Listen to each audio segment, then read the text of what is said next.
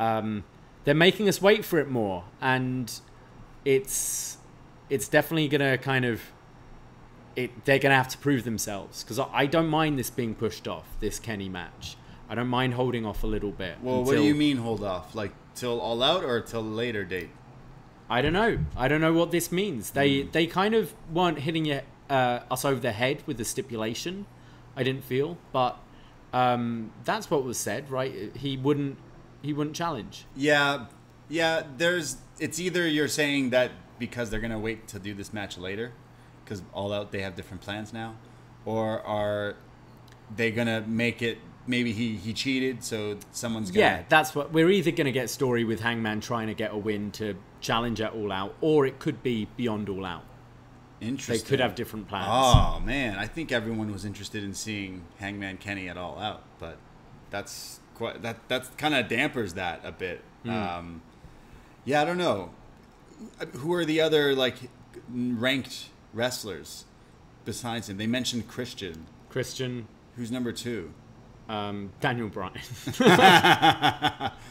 Yeah, I don't know if you have to have Hangman fight someone else to maybe Hangman beats Christian, and to prove that he's like I don't know. I don't know. it's either. it's weird because I, I. I thought that was definitely the direction we were going, but you never know with these certain signings they've got going whether they're shifting things, whether this was always the plan. That they've been telling a very long story with Kenny and Hangman right back from the beginning of AEW. Yeah. This story's been building and building.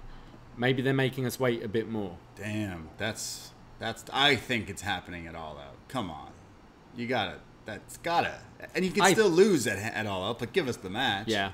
Like you've pushed it for this much. It, I think. I think so. There's still a few weeks, and they're gonna have these rampages too to build True. stuff. So who knows what they'll do? But Yeah, there's a lot of TV, so maybe just stretch out a little. Yeah. All out. Well, I loved the fact that they did this like cross promotion team thing with the Space Jam because in the new Space Jam, it's all about Warner Media. Like they go to different Warner products and places trying to get a basketball team, but no one like Harry Potter World, Game Right. of Thrones worlds, whatever, uh, Bat- uh, Gotham, Metropolis, like anything owned by Warner, whatever.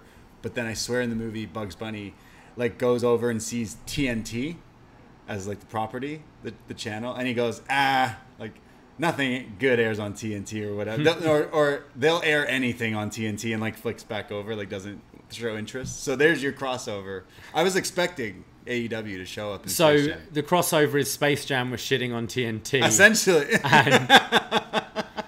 and then TNT responded by just promoting their yeah, film. pretty much. Yeah, because Okay. they have to. Yeah. Yeah. Uh, I, as I mentioned, Space Jam, the, the new Odyssey, what is it? The new Dynasty, the new franchise player. It wasn't uh, that great, but your kids will love it if you got kids.